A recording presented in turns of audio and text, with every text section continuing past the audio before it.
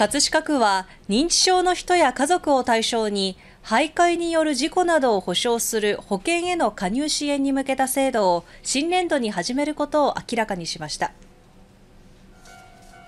葛飾区は高齢者の割合が24.5%と23区の中で3番目に高く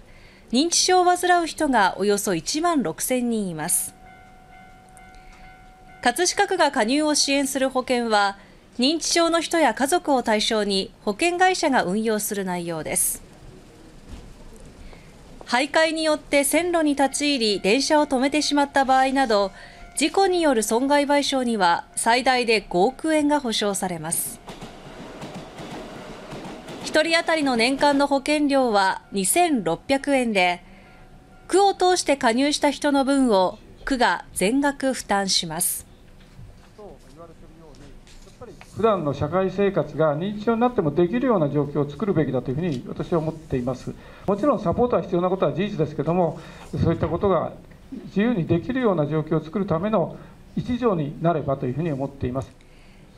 葛飾区は500人以上の申し込みを見込みおよそ130万円の事業費を新年度予算案に盛り込んでいます。